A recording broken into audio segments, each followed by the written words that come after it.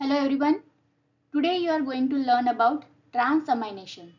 This topic is important for short answer question, Viva and MCQs.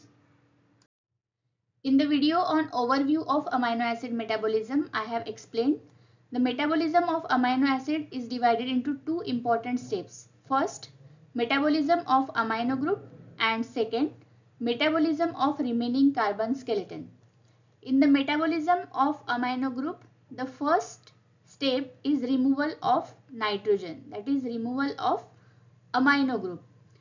So the amino acid first undergo transamination and which is followed by deamination. So transamination there is just transfer of amino group from one amino acid to keto acid to form other amino acid and keto acid. So there is just transfer, there is not removal and this transamination is further followed by deamination. And as a result of this deamination, glutamate is converted into alpha ketoglutarate and there is generation of ammonia in the form of ammonium ion.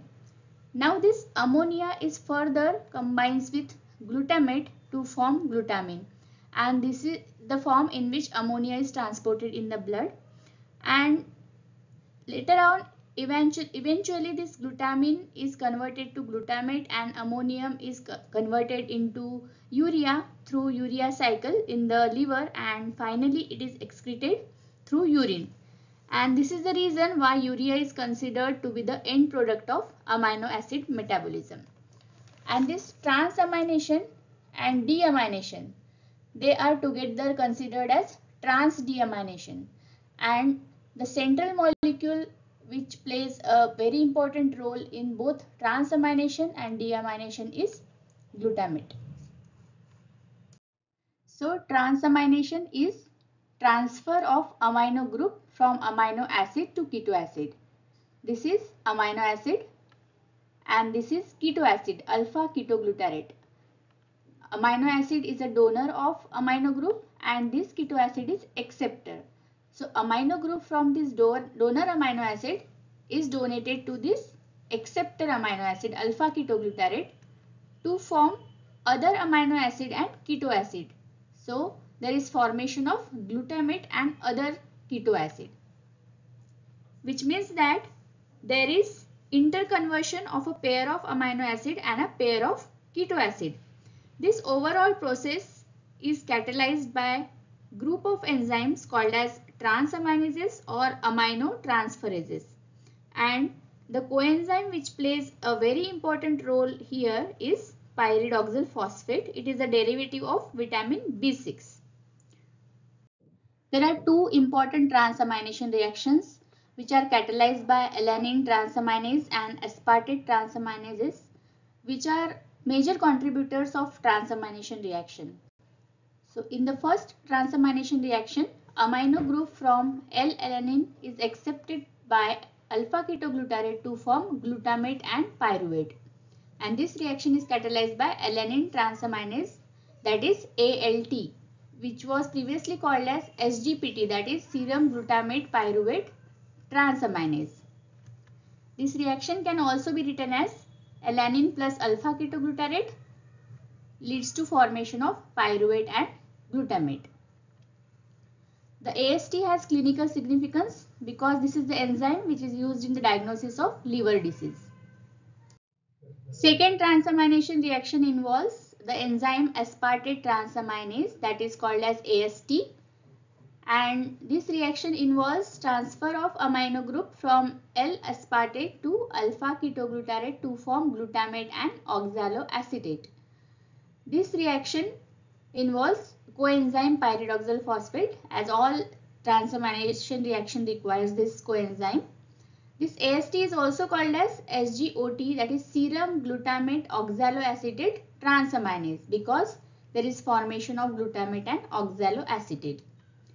This reaction can also be written as L-aspartate plus alpha ketoglutarate leads to formation of oxaloacetate plus glutamate. This AST has clinical significance because it is used in the diagnosis of heart disease that is myocardial infarction. The levels of AST uh, is elevated in condition of myocardial infarction. Transamination occurs by ping pong mechanism. In this ping pong mechanism, first substrate binds to the active site of enzyme and there is formation of product. That product must leave the active site before the second substrate can bind. So let's understand how this ping pong mechanism occurs. Pyridoxal phosphate is a carrier of amino group in the transamination reaction. So we are taking example of alanine transaminase. This is the structure of pyridoxal phosphate. It has aldehyde group and this aldehyde group of pyridoxal phosphate it is covalently bound to this enzyme's active site through an aldimine linkage to the epsilon amino group of lysine residue.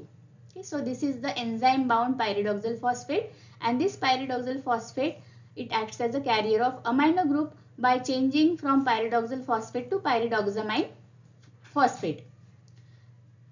Next, the alanine is a substrate here. When this substrate comes and reacts with the active site of enzyme, this amino acid alanine is it displaces lysine and new linkage is formed. Then later this amino group is now carried by this pyridoxal phosphate. It, to form pyridoxamine phosphate. So this enzyme pyridoxamine phosphate and as the amino group is removed from here means transferred from this alanine so there is this is amino acid. So there will be formation of keto acid that is pyruvate. And next there is release of pyruvate to form enzyme bound pyridoxamine phosphate. This is the structure of pyridoxamine phosphate so now the amino group from alanine is carried by this pyridoxal phosphate and it becomes pyridoxamine phosphate and in this process alanine is converted into pyruvate and it is now released from this reaction. So there is formation of pyruvate. Next there is binding of alpha ketoglutarate. Alpha ketoglutarate is a keto acid here. So this alpha ketoglutarate binds to the active site of the enzyme. And then this amino group which is here with the pyridoxamine phosphate it is then transferred to this alpha ketoglutarate to form glutamate. And now this pyridoxamine is converted into pyridoxal phosphate. So then after formation of glutamate there is release of glutamate.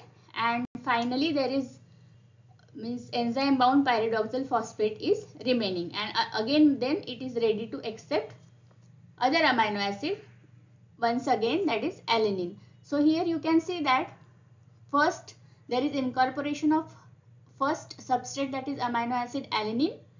There is formation of uh, keto acid pyruvate and after the release of pyruvate from this enzyme uh, coenzyme complex then only second substrate second amino acid can bind to this enzyme uh, bound pyridoxal phosphate and then there is formation of glutamate from ketoglutarate and uh, later on glutamate is released. So finally there is enzyme bound pyridoxal phosphate is remained here.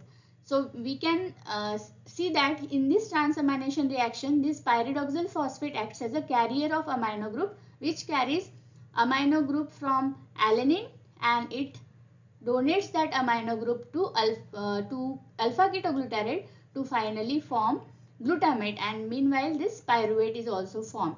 So there is uh, means uh, alanine combines with this alpha ketoglutarate to form pyruvate and glutamate. So this is the ping pong mechanism of transamination reaction. What are the salient features and metabolic significance of uh, transamination? This transamination reaction is discovered by Braunstein and Brisman in 1974. This is reversible reaction and as the transamination reaction is essentially reversible it takes part in both amino acid synthesis as well as degradation. Principally the site of transaminations are liver, kidney, heart and brain. Pyridoxal phosphate which is derived from vitamin B6 is the coenzyme which is a carrier of amino group. Then there is intermolecular transfer of amino group. There is no formation of ammonia. There is just transfer of amino group. And amino group are eventually concentrated in the glutamate. The amino group of most of the amino acid undergoing transamination, they eventually concentrated in the glutamate because glutamate is the only amino acid that liberates free ammonium ion through oxidative deamination and later on that ammonium ion is used for urea synthesis in the liver. Then the metabolic significance is production of non-essential amino acids which are required for protein synthesis and this transamination is involved in the uh, synthesis of non-essential amino acid and uh, by re redistribution of the amino groups among amino and keto acids. So this is very important for protein biosynthesis. The other features are uh, group transaminases. They use any of the alpha ketoglutarate, oxaloacetate or uh, pyruvate. And there are specific transaminases, for example, ALT and AST. ALT is also called as SGPT and AST is also called as SGOT. And this both ALT and AST they are they have diagnostic importance as ALT is raised in the liver diseases and AST is raised in the uh, when there is damage to the heart that is in the myocardial infarction. Which are those amino acids which do not participate in transamination? Those are lysine, threonine, proline and hydroxyproline. Transamination is not restricted to alpha amino group because delta amino group of ornithine forms glutamate gamma semialdehyde. So far I have explained what is transamination means what is the definition of transamination what are various transamination reactions mechanism of transamination then various salient features and metabolic significance as well as clinical significance of transaminases like AST and ALT. Uh, I hope now you can write a short answer question on transamination. Now let's see some important MCQs on this topic. So the first MCQ is the coenzyme essential for transamination reaction is first option pyridoxal phosphate, NAD, tetrahydrofolate or thiamine pyrophosphate. So we know that pyridoxal phosphate is used as a coenzyme in transamination reaction. So answer is pyridoxal phosphate. The next question is which of the following reactions exhibits ping pong mechanism? So I have explained what is ping pong mechanism. In this mechanism, first substrate binds to the active site of enzyme. There is formation of product. That product first leaves, then only second substrate can bind. That is ping pong mechanism.